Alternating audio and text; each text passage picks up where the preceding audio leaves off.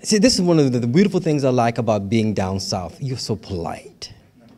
I say, good afternoon, everybody. Say, good afternoon. They don't do that out west. They're like, whatever, get out of here. Thank you for coming out on a rainy day, um, and welcome to the ninth annual ASU Poetry Festival. Let's give that some applause.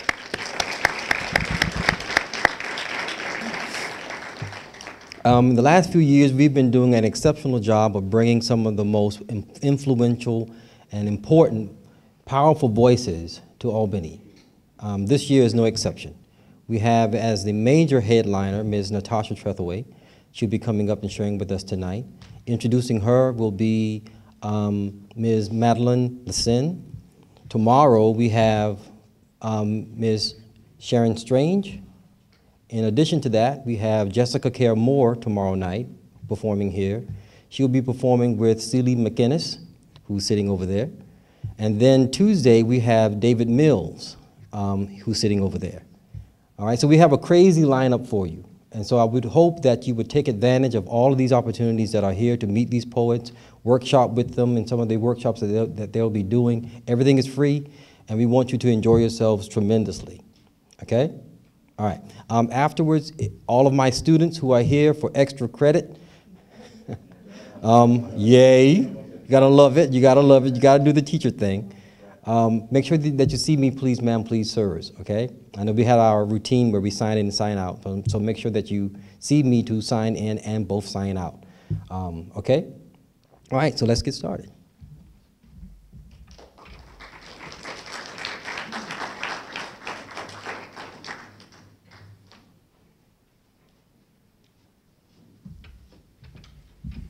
Good afternoon, everyone. My name is Marlon Pollard, and I'm here to deliver the occasion. According to Mikhail Bakhtin, each social group speaks its own social dialect, which expresses the shared values of the people and ultimately reflects its language. Speaking both to and from the position of the other, black writers must deal not only with the external manifestations of racism and sexism, but also with the results of those distortions, specifically how they are internalized within themselves and one another. What distinguishes their writing, then, is the privileging rather than repressing of the other in themselves. In short, black writers refuse to surrender their difference. Instead, they use it as they write from a multitude of positionalities as women, men, mothers, fathers, lovers, black, and the oppressed. They use these frameworks as a means of conducting creative dialogues. For black women, this dialogue is particularly complex in that they speak in multiple voices. The plurality of voices is what Mae Henderson calls speaking in tongues. For Henderson, as black women speak in diverse languages, they weave into their work competing and complementary discourses. That is, as black women speak and write, they consistently raise the problem of black women's relationship to power. In doing this, they disrupt conventional definitions of blackness and they inscribe their own definitions of black womanhood on their own psyche, which requires a revision of former definitions. This investigative focus has created a space of much black expressive culture, and it is the launch pad for poetic traditions that invite the listener to dialogue with their own inner speech in hopes of disrupting imposed social views. Tonight, we gather to experience one artist whose chorus of voices speak to our quest to identify and promote our understanding ourselves and to establish our place in an ever growing and complex American social landscape. Tonight, we pause and we listen to our vision quest. Speaker for the festival, Professor Natasha Trethewey. Thank you. Good afternoon. I'm Talita Burley, and I stand to introduce our first guest poet. Our first guest poet began writing in her journal in the first grade. About that moment, she remarks, There's that need when you're very young to hold on to everything. Unfortunately, I have the span of a firecracker. So recording all of my day did not work. I began writing one line a day describing the most intense part of it, good or bad. These lines collected and patterns arose. I didn't realize these would become my first poems. What emerged from this beginning was a distinct and resonant voice full of life and hope. a poetic language that she describes as a descriptive series of words more powerful than a single lonely word, a language to create new possibilities. Madeleine Le Cesne is a poet from New Orleans, Louisiana. In 2014, she earned the National Student Poet Award, the nation's highest honor for teen poets presenting original work. The award is sponsored by the President's Committee on the Arts and Humanities and First Lady Michelle Obama, the Institute of Museum and Library Services, and the Alliance for Young Artists and Writers program. Madeleine served as the Southwest National Student Poet. A major portion of her responsibilities was to serve as a literary ambassador, promoting poetry across her region and across the country. Currently, she is a freshman at Princeton University, Albany State University. Please join me in welcoming to our ninth annual Poetry Festival, Miss Madeleine Le Cesne.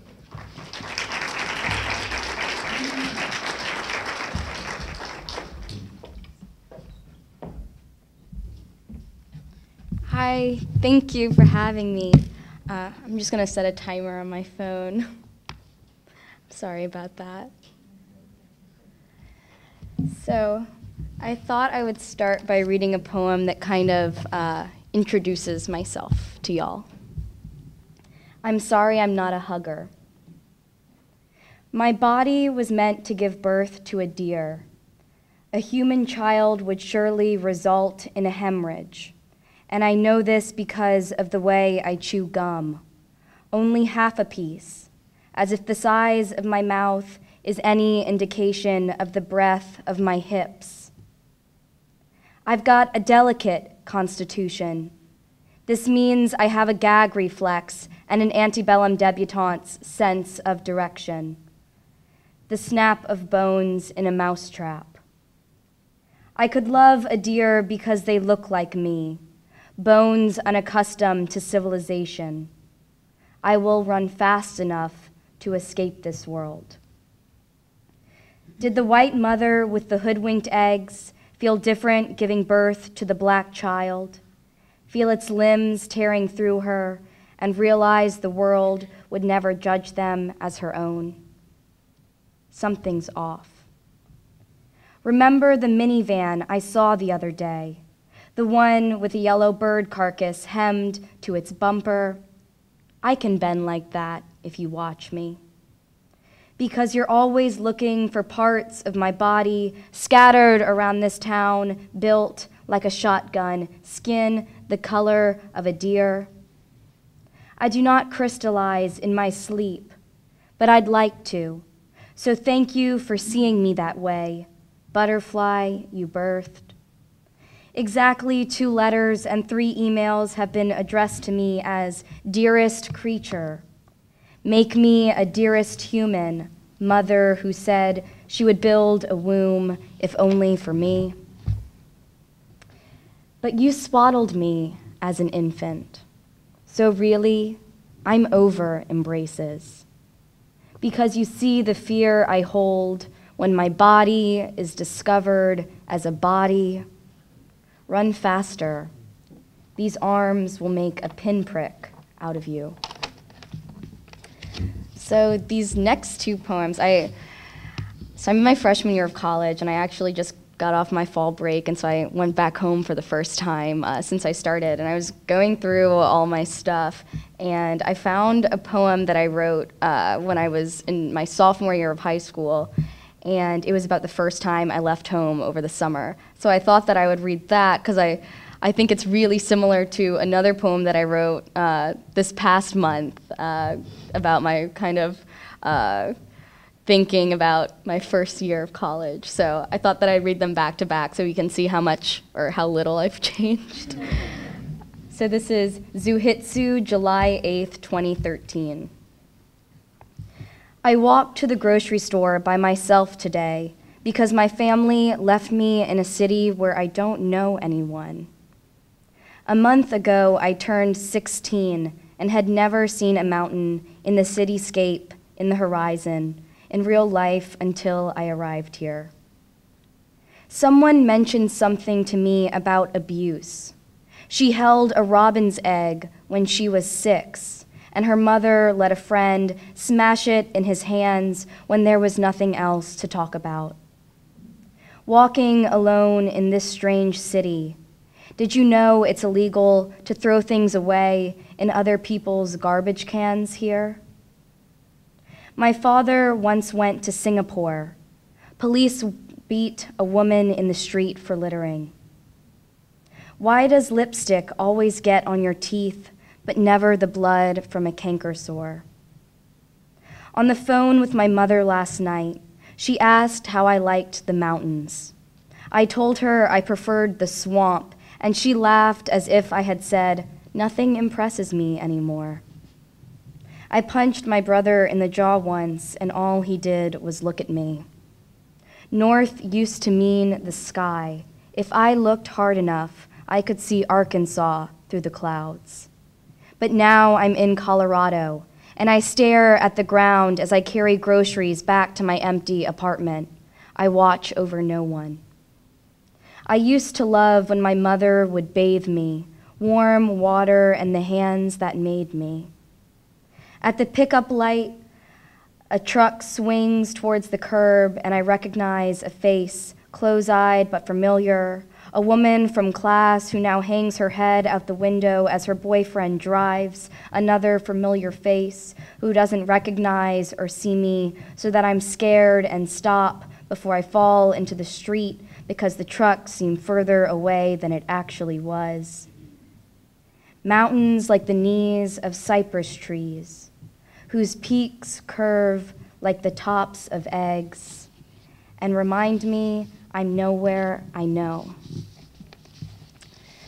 So here's its counterpart two years later, I guess. So this is secondary education.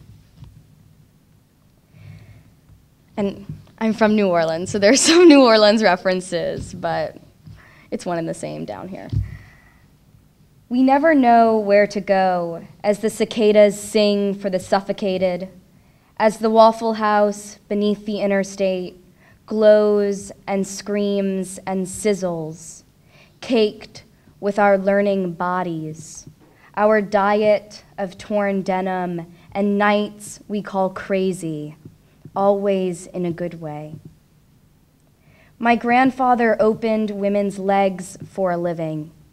They asked him to put love in their hearts.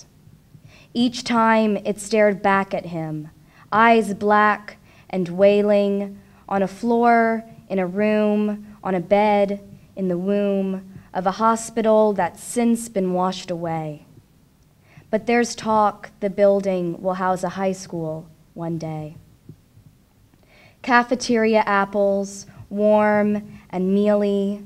I stare at the ceiling in the body my parents intended always captured in clothes other people have worn.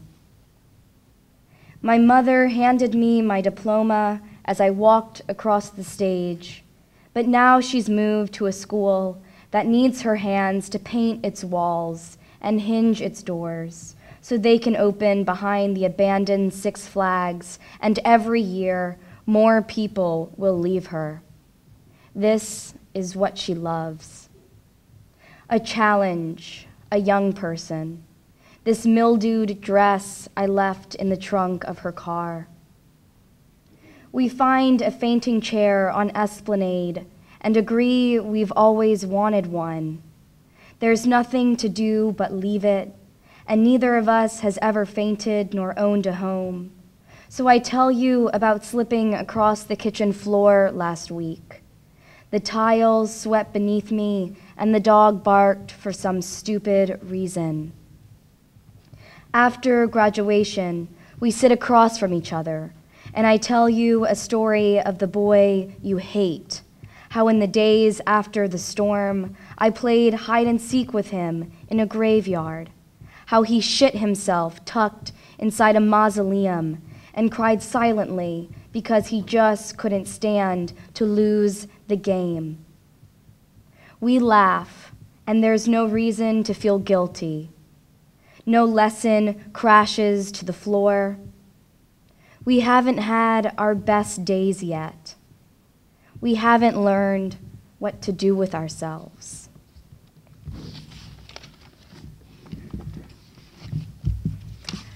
So, I thought that for my next poem, I would read a poem about my grandfather, just because I've been thinking about him um, a lot this past year. Because there was, growing up, there was a cardinal that always would uh, ram into the uh, side of my house, and, and specifically my window in my room uh, growing up. And recently I went to college and a cardinal, I live on, all the way on the fourth floor, and a cardinal every morning has been running into my, um, my glass uh, window. And so we always said back home that it was my grandfather's ghost, um, and I think that he's followed me all the way up to New Jersey. So, my cardinal. A cardinal throws himself at my window every morning beats into his reflection in the glass the way my grandfather understood that we have the same eyes. Always a little blood when I turn to the day, red feathers, red light, red slamming of skull. This I wake to. Each minute, the second self grows weaker the cardinal's propelling, softer. He does not understand how he appears, enemy of reflection. This bird looks more like my grandfather than I do, bones echoing lightning in my sleep. Yet I always mistake this body for the sky's shattering.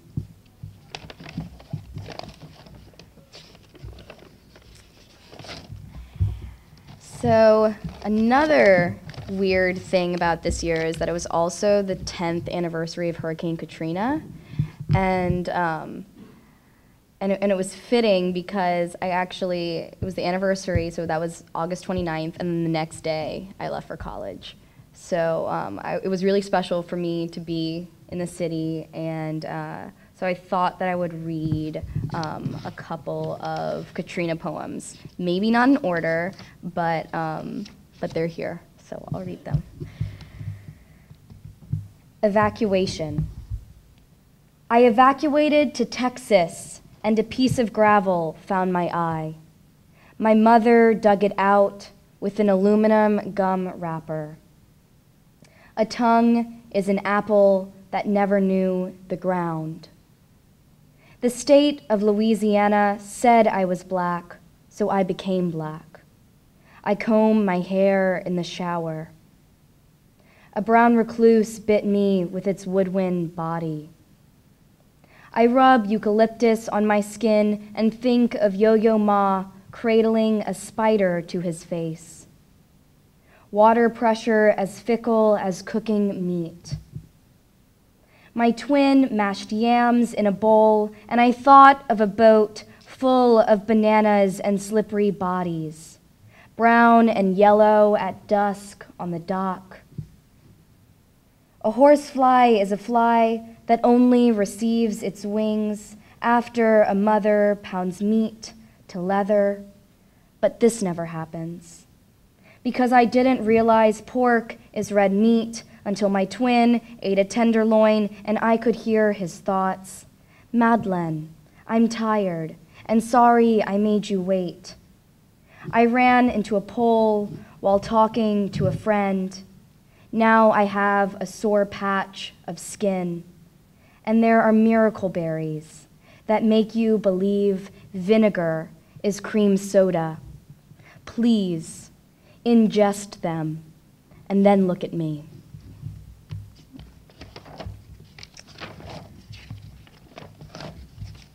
So these last two poems, if I can find them, here we go.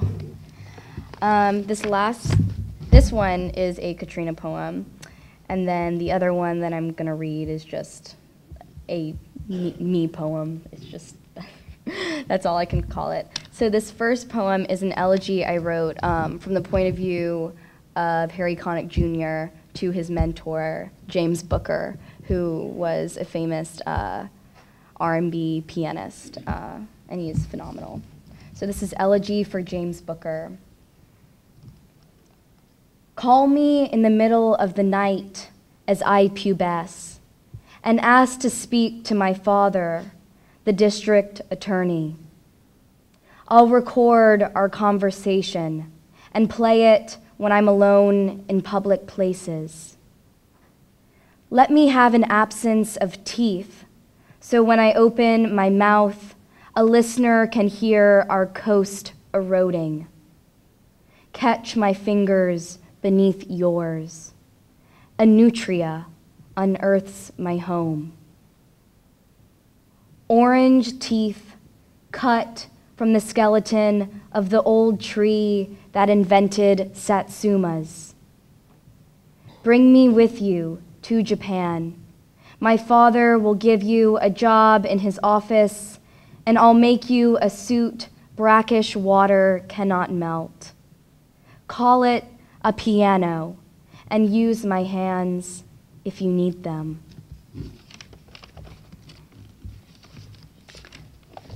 And this last poem is called Semele, and it's based off of a Greek myth, but I'll explain that in the poem. Semele.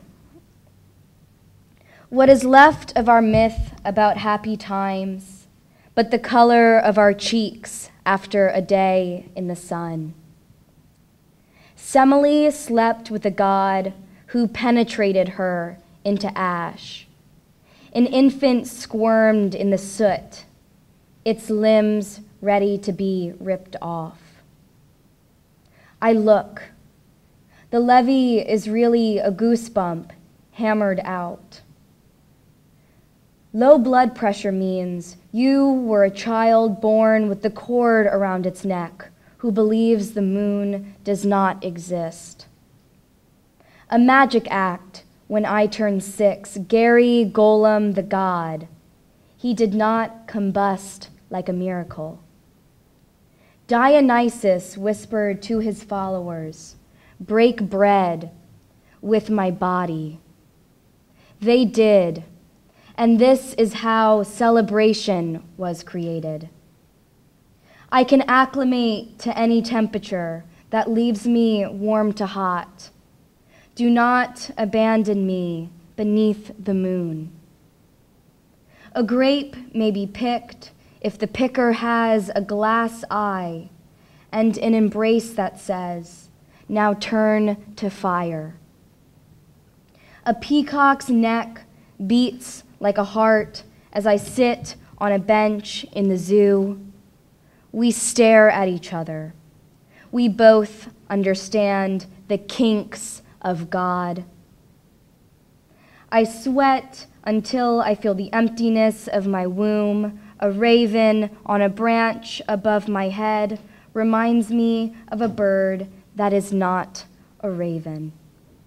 I walk home. I could tear my son apart and not remember in the morning. Thank you.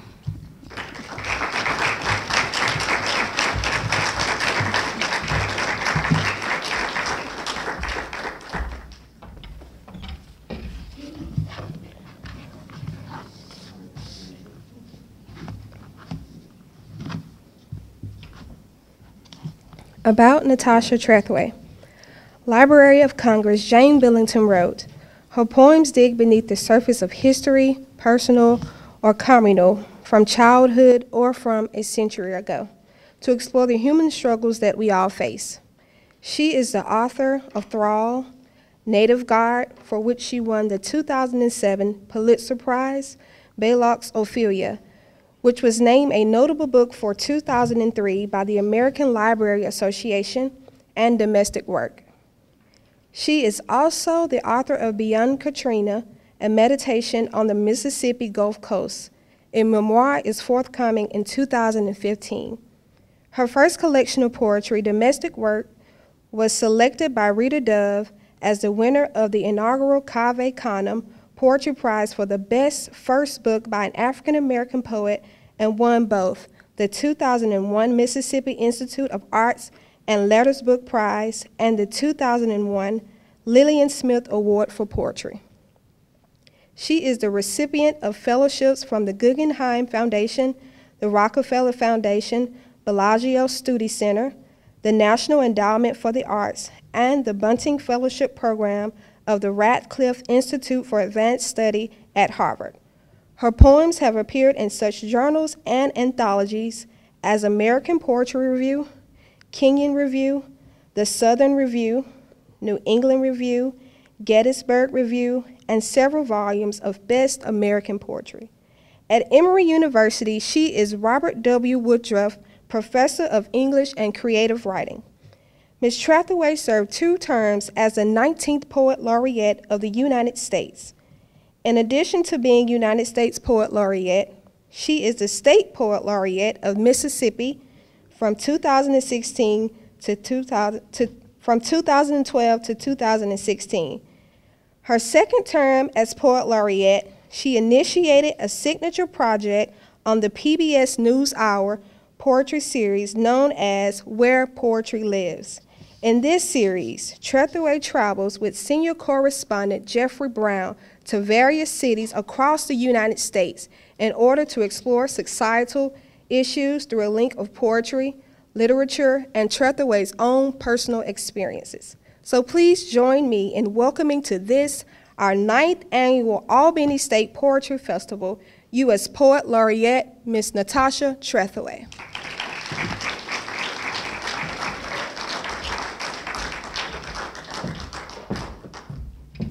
Thank you. Good afternoon. It's great to be here with you guys today, even on this crazy rainy day, and I appreciate that you're all here. Uh, lovely to get to read with you and hear you, Madeleine. Um, I'm going to start with uh, some poems from my third collection, Native Guard. Um, when my parents got married nearly uh, 50 years ago, I guess it was 50 years ago now that they got married, uh, interracial marriage was still illegal in at least 20 states in the nation. And this isn't uh, ancient history, I'd have to remind you, because uh, a lot of states took a long time to finally remove those statutes from their state constitutions. As a matter of fact, in the state of Alabama, they only voted in the late 90s whether to remove the anti miscegenation laws from the books. And Though they did vote to get rid of them, 42% of the voting population wanted to keep those laws so that at least symbolically it could be said that parents like mine couldn't be married legally and people like me born legally in the state. So when I was born, for whatever reason, I'm sure it had something to do with the law and breaking it, whoever filled out my birth certificate wrote race of mother colored, race of father Canadian.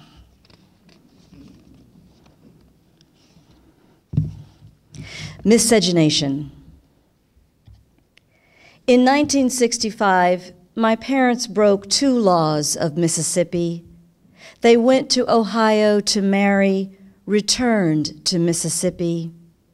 They crossed the river into Cincinnati, a city whose name begins with a sound like sin, the sound of wrong, miss in Mississippi. A year later, they moved to Canada, followed a route the same as slaves, the train slicing the white glaze of winter, leaving Mississippi. Faulkner's Joe Christmas was born in winter, like Jesus, given his name for the day he was left at the orphanage, his race unknown in Mississippi. My father was reading War and Peace when he gave me my name. I was born near Easter, 1966, in Mississippi. When I turned 33, my father said, It's your Jesus year. You're the same age he was when he died. It was spring, the hills green in Mississippi. I know more than Joe Christmas did. Natasha is a Russian name, though I'm not. It means Christmas child, even in Mississippi. By the way, when my parents um, tried to first get married, uh, they went to a little courthouse in Kentucky. and that's where they were turned away from. Sound familiar? Like recent history? Well, recent history is also uh, a history that reminds us about uh, the necessity for voting rights. Um, you know, having gotten to serve uh, as poet laureate at this historical moment, which is very significant to me because we're at the 150th anniversary of the Civil War and the 50th anniversary of major advances in the civil rights movement, the 1964 Civil Rights Act and Voting Rights Act of 65. And even now, we're at a point where people are trying to disenfranchise certain voters yet again. Um, back in the late 60s, uh, the church across the street from my grandmother's house was doing a voter registration drive to get disenfranchised African American voters registered. And the church didn't have its own driveway, so my grandmother used to let them park the church bus in her driveway. Because of that, we never knew if the act of terrorism that happened was because of the voter registration drive at the church or because of the interracial family living with my grandmother, me and my parents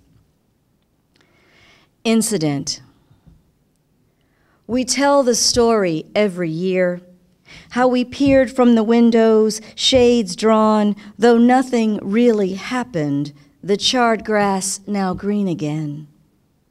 We peered from the windows, shades drawn, at the cross trussed like a Christmas tree, the charred grass still green.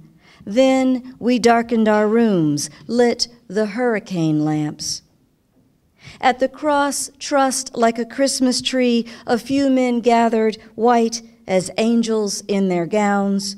We darkened our rooms and lit hurricane lamps, the wicks trembling in their fonts of oil. It seemed the angels had gathered, white men in their gowns. When they were done, they left quietly. No one came. The wicks trembled all night in their fonts of oil. By morning, the flames had all dimmed. When they were done, the men left quietly. No one came. Nothing really happened. By morning, all the flames had dimmed. We tell the story every year.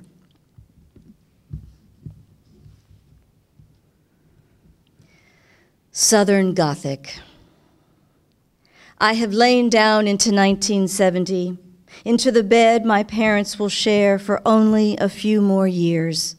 Early evening, they have not yet turned from each other in sleep, their bodies curved, parentheses framing the separate lives they'll wake to. Dreaming, I am again the child with too many questions, the endless why and why and why. My mother cannot answer, her mouth closed, a gesture toward her future, cold lips stitched shut. The lines in my young father's face deepen toward an expression of grief. I have come home from the schoolyard with the words that shadow us in this small southern town peckerwood and nigger lover, half breed and zebra, words that take shape outside us. We're huddled on the tiny island of bed, quiet in the language of blood, the house unsteady on its cinder block haunches, sinking deeper into the muck of ancestry. Oil lamps flicker around us, our shadows, dark glyphs on the wall, bigger and stranger than we are.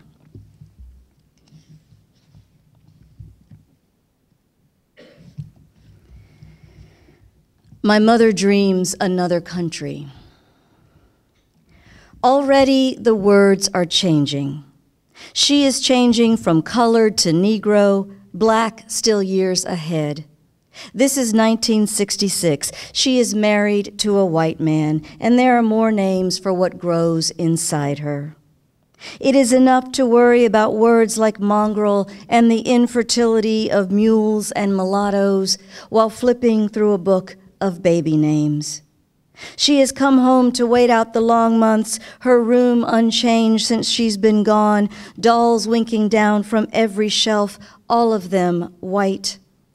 Every day she is flanked by the rituals of superstition, and there is a name she will learn for this too maternal impression, the shape like an unknown country marking the back of the newborn's thigh. For now, women tell her to clear her head, to steady her hands, or she'll gray a lock of the child's hair wherever she worries her own, imprint somewhere the outline of a thing she craves too much. They tell her to stanch her cravings by eating dirt. All spring she has sat on her hands, her fingers numb. For a while each day she can't feel anything she touches the arbor out back, the landscape's green tangle, the molehill of her own swelling. Here, outside the city limits, cars speed by, clouds of red dust in their wake. She breathes it in, Mississippi, then drifts toward sleep, thinking of some place she's never been. Late, Mississippi is a dark backdrop bearing down on the windows of her room. On the TV in the corner, the station signs off, broadcasting its nightly salutation, the waving stars and stripes, our national anthem.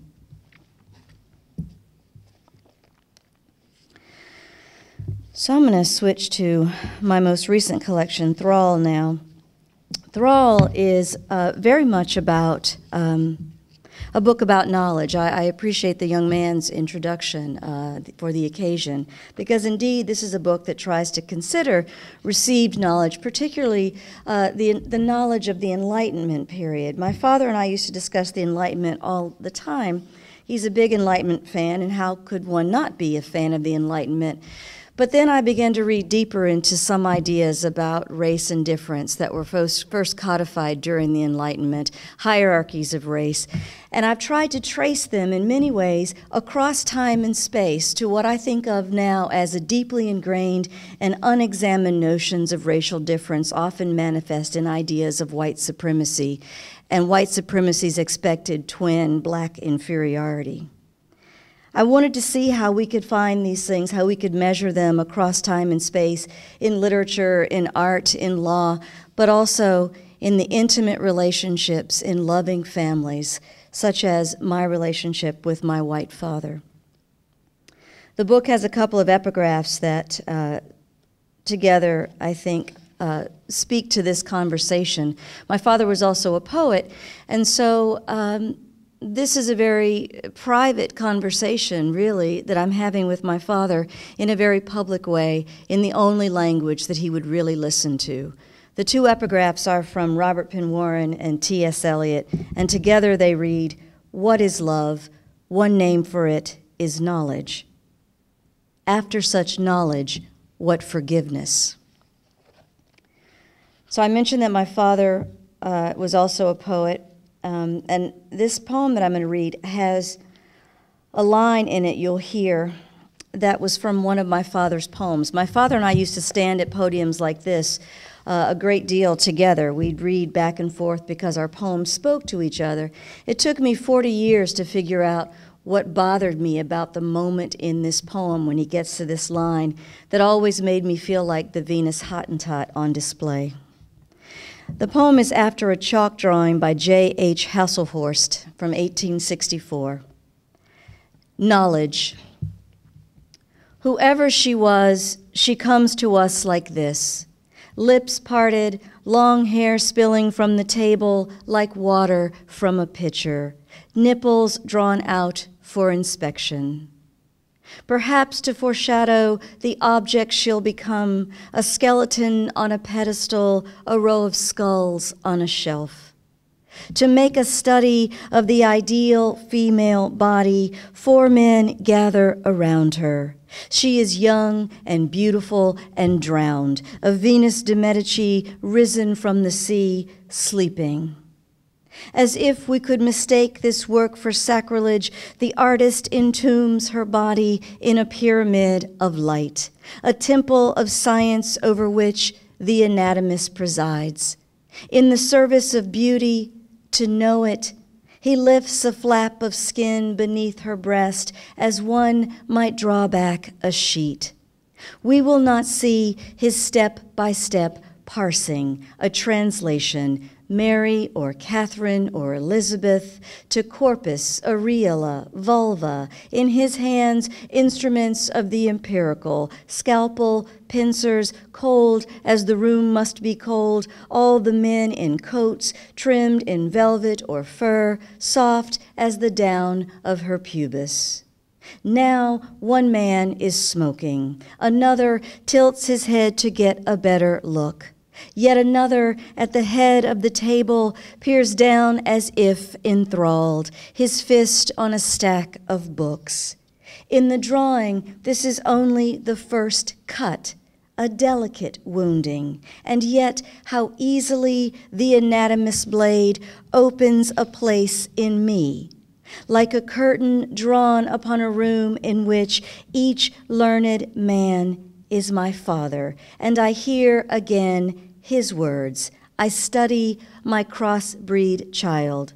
Misnomer and taxonomy, the language of zoology.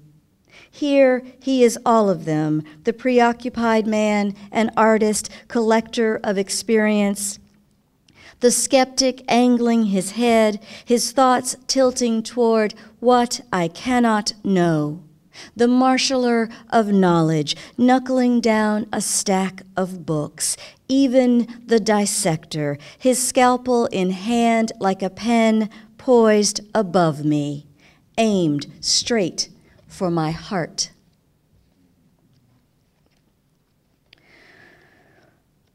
So, when I started writing this book, um, one of the things I was doing, I, I just finished Native Guard, and um, I always go back and look up all the words I think I know in the OED to remind myself of those secondary and tertiary and on and on definitions that can deepen the figurative levels of a poem. Um, and so I went to look up the word native because I'd used native in the title of my other book, and I was surprised at the definition that comes up first in the OED. I expected it to be something like, you know, if you're a native of Georgia or a plant that's native to a certain region.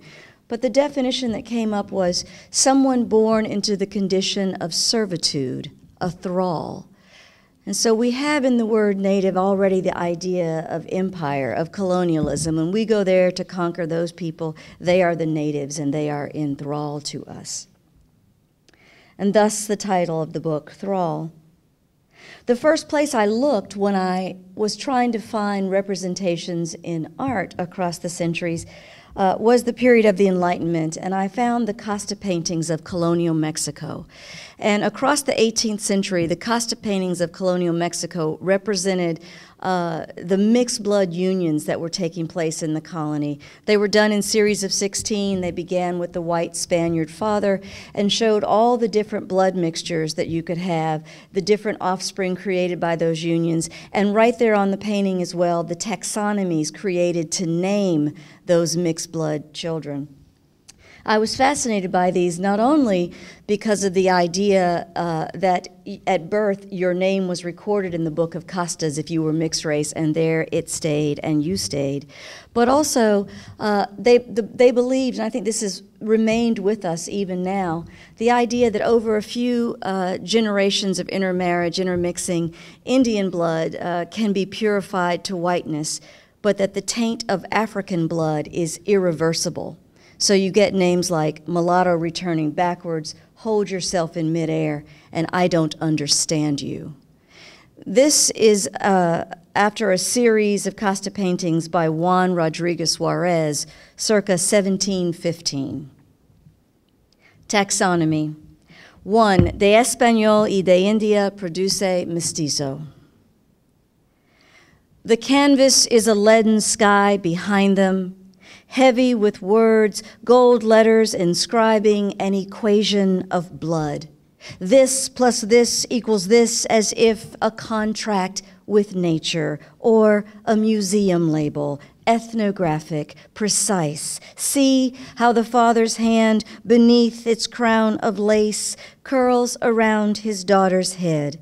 She's nearly fair as he is, Calidad. See it in the brooch at her collar, the lace framing her face. An infant, she is borne over the servant's left shoulder, bound to him by a sling, the plain blue cloth knotted at his throat. If the father, his hand on her skull, divines, as the physiognomist does, the mysteries of her character, discursive, legible on her light flesh, in the soft curl of her hair, we cannot know it. So gentle the eye he turns toward her. The mother, glancing sideways toward him, the scarf on her head, white as his face, his powdered wig, gestures with one hand a shape like the letter C. See, she seems to say, what we have made. The servant, still a child, cranes his neck, turns his face up toward all of them. He is dark as history, origin of the word native the weight of blood, a pale mistress on his back, heavier every year. 2. De Español y Negra produce mulatto. Still, the centuries have not dulled the sullenness of the child's expression. If there is light inside him, it does not shine through the paint that holds his face in profile, his domed forehead, eyes nearly closed beneath a heavy brow. Though inside the boy's father stands in his cloak and hat, it's as if he's just come in or that he's leaving. We see him transient, rolling a cigarette, myopic, his eyelids drawn against the child passing before him. At the stove, the boy's mother contorts, watchful, her neck twisting on its spine, red beads yoked at her throat like a necklace of blood, her face so black she nearly disappears into the canvas, the dark wall upon which we see the words that name them. What should we make of any of this? Remove the words above their heads, put something else in place of the child, a table, perhaps, upon which the man might set his hat, or a dog upon which to bestow the blessing of his touch, and the story changes. The boy is a palimpsest of paint, layers of color, history rendering him that precise shade of in between. Before this, he was nothing, blank canvas, before image or word, before a last brushstroke fixed him in his place. 3. De Español y Mestiza produce Castiza. How not to see in this gesture the mind of the colony in the mother's arms, the child hinged at her womb, dark cradle of mixed blood, call it Mexico, turns toward the father, reaching to him as if back to Spain, to the promise of blood, alchemy, three easy steps to purity. From a Spaniard and an Indian, a mestizo. From a mestizo and a Spaniard, a castizo. From a castizo and a Spaniard, a Spaniard. We see her here, one generation away, nearly slipping her mother's careful grip. 4. The Book of Castas. Call it the Catalogue of Mixed Bloods or the Book of Not, not Spaniard, not white, but mulatto returning backwards, or hold yourself in midair, and the Morisca, the Lobo, the Chino, Sambo albino, and the No te entiendo, the I don't understand you guidebook to the colony, record of each crossed birth. It is the typology of taint, of stain, blemish, sullying spot, that which can be purified, that which cannot, Canaan's black fate. How like a dirty joke it seems. What do you call that space between the dark geographies of sex? Call it the taint, as in taint one and it taint the other illicit and yet naming still what is between. Between her parents, the child, mulatto, returning backwards, cannot slip their hold. The triptych their bodies make in paint, in blood, her name, written down in the book of castas, all her kind, in thrall to a word.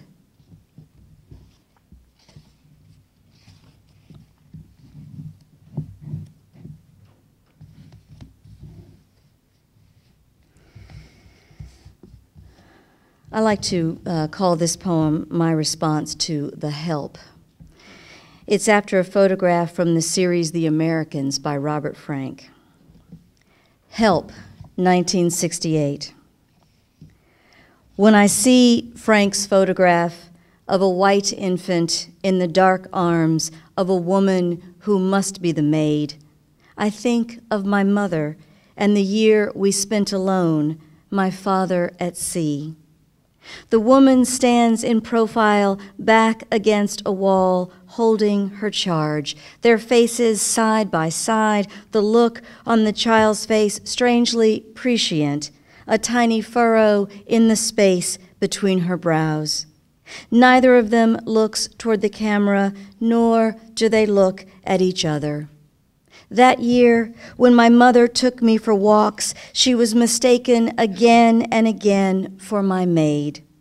Years later, she told me she'd say I was her daughter, and each time strangers would stare in disbelief, then empty the change from their pockets.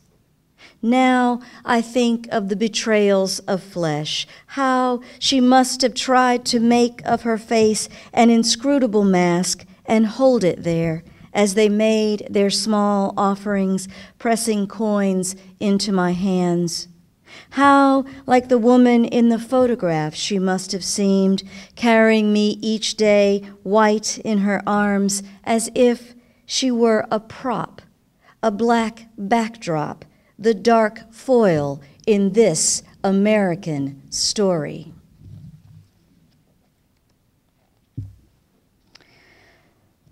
So, just a couple more. Um, I wanted to see how far back I could go. I said I started with the 18th century, um, the Enlightenment.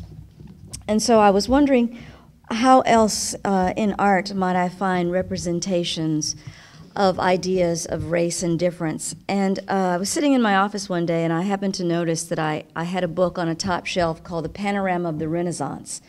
And I pulled it down and found in the Panorama of the Renaissance um, a section about race in the Renaissance and, an and a painting that I'd never seen before. The painting uh, was one of the paintings about uh, the miracle, the myth of the miracle miraculous transplant by uh, Cosmas and Damian, who were the patron saints of medicine.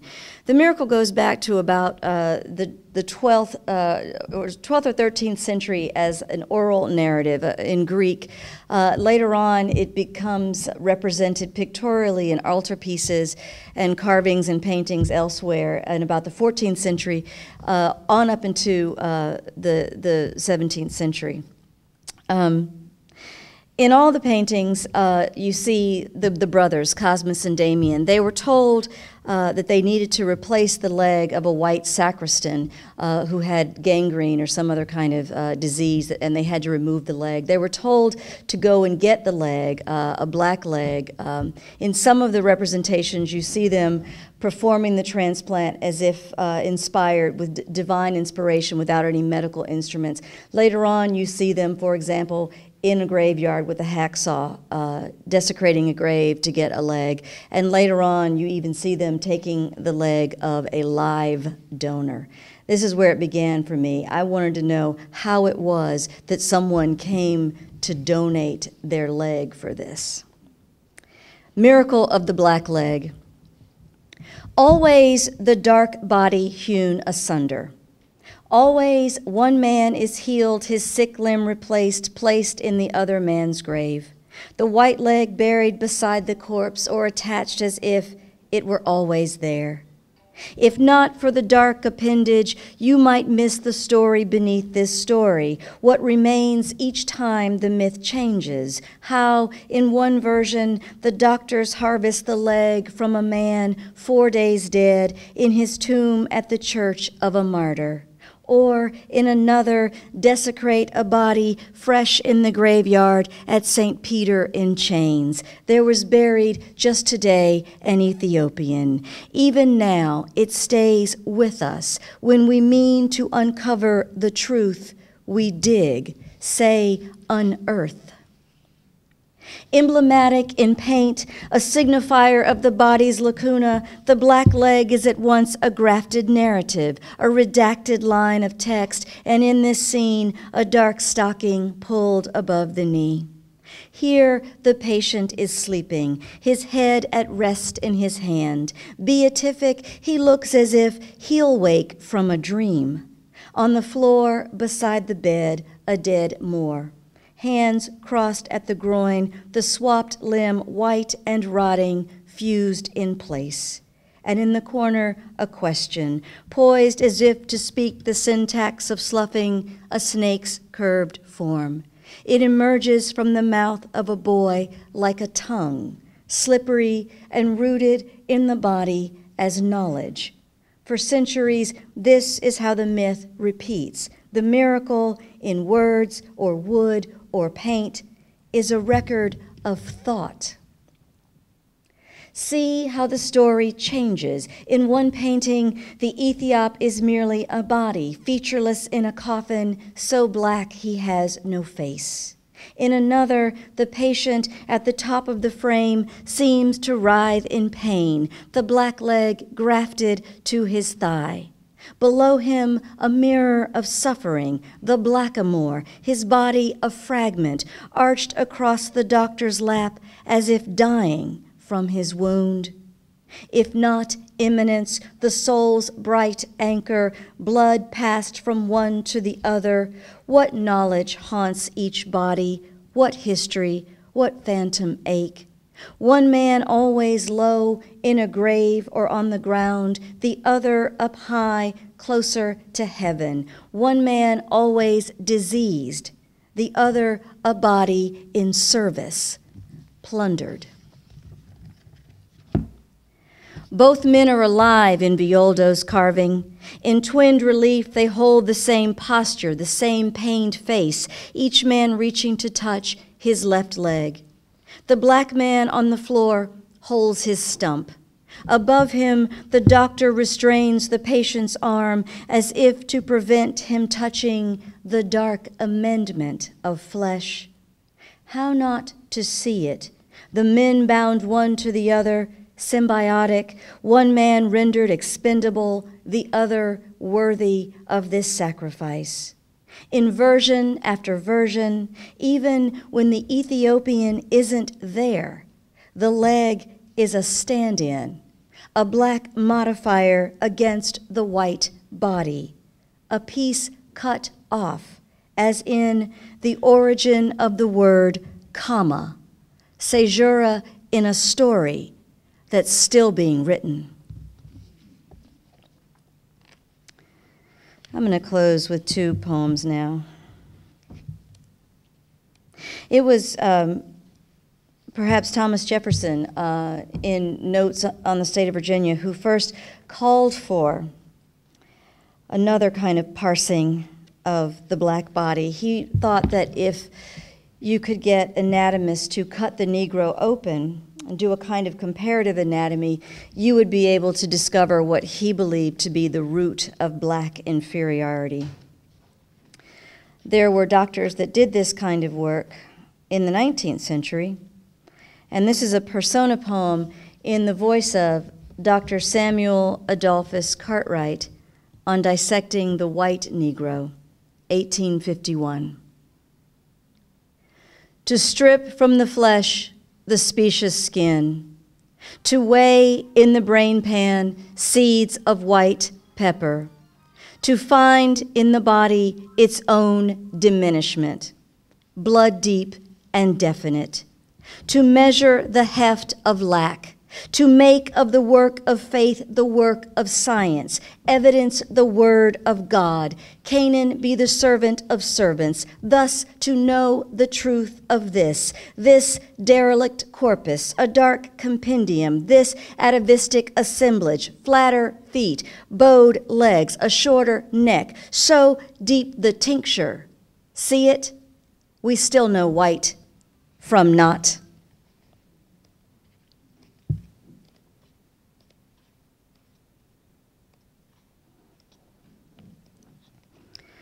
This is the last poem I wrote for the book, and it was the one I had to write in order to finish it. And in order to do that, I had to take my father um, back to Monticello, uh, Jefferson's home. He had taken me there the first time over 25 years ago, and a lot had changed at Monticello in that time. Um, it's now the official position of the Jefferson Foundation that Thomas Jefferson fathered several of Sally Hemings' children. That was a taboo subject 25 years ago. You weren't supposed to ask about that. Now, uh, the docent will announce that immediately upon uh, the beginning of your tour. And because of it, the kinds of conversations that one overhears have changed. For example, my father and I heard some people um, talking about whether or not, how much, uh, as if it mattered, how much white blood Sally Hemings had. Enlightenment. In the portrait of Jefferson that hangs at Monticello, he is rendered two toned, his forehead white with illumination, a lit bulb, the rest of his face in shadow, darkened as if the artist meant to contrast his bright knowledge, its dark subtext. By 1805, when Jefferson sat for the portrait, he was already linked to an affair with his slave. Against a backdrop blue and ethereal, a wash of paint that seems to hold him in relief, Jefferson gazes out across the centuries, his lips fixed as if he's just uttered some final word. The first time I saw the painting, I listened as my father explained the contradictions. How Jefferson hated slavery, though, out of necessity my father said, had to own slaves. That his moral philosophy meant he could not have fathered those children, would have been impossible, my father said. For years, we debated the distance between word and deed. I'd follow my father from book to book gathering citations, listen as he named, like a field guide to Virginia, each flower and tree and bird, as if to prove a man's pursuit of knowledge is greater than his shortcomings, the limits of his vision. I did not know then the subtext of our story. That my father could imagine Jefferson's words made flesh in my flesh, the improvement of the blacks in body and mind in the first instance of their mixture with the whites, or that my father could believe he'd made me better. When I think of this now, I see how the past holds us captive, its beautiful ruin etched on the mind's eye. My young father, a rough outline of the old man he's become, needing to show me the better measure of his heart, an equation writ large at Monticello. That was years ago. Now we take in how much has changed. Talk of Sally Hemings, someone asking, How white was she? Parsing the fractions as if to name what made her worthy of Jefferson's attentions, a near white quadroon mistress, not a plain black slave. Imagine stepping back into the past, our guide tells us then, and I can't resist whispering to my father, This is where we split up. I'll head around to the back. When he laughs, I know he's grateful I've made a joke of it.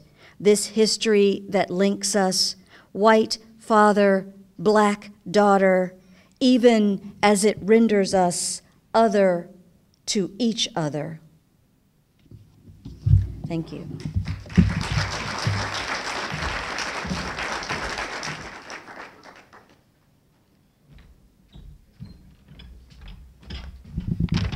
Do you mind joining me in thanking our poets again for sharing these wonderful works with us?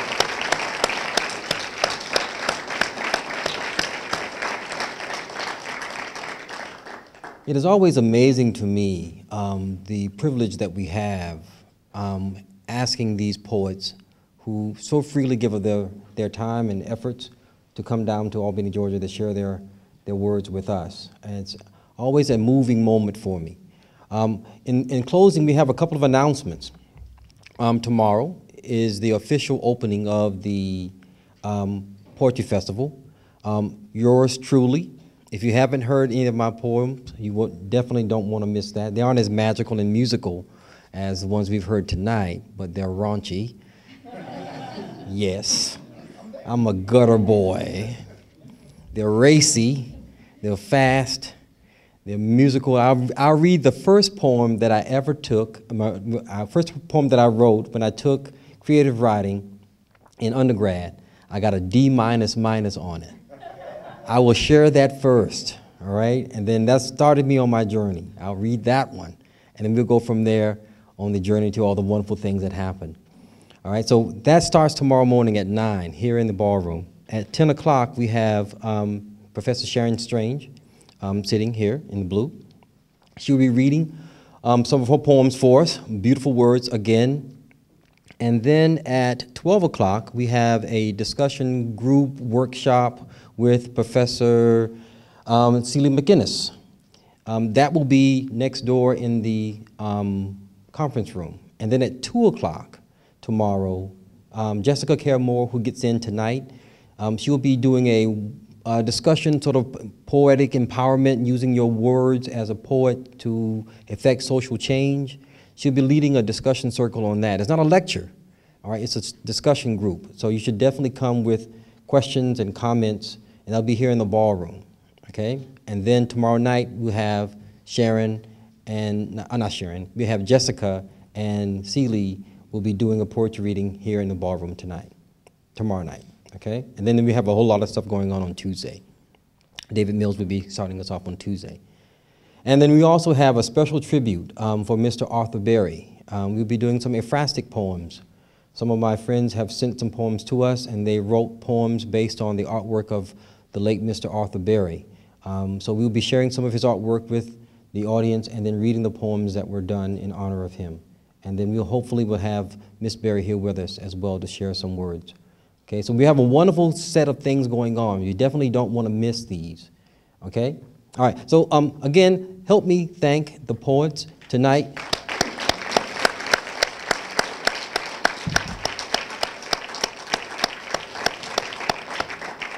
And as one more request, um, we also put out the literary journal, the Parian Journal. We put that out every, every year.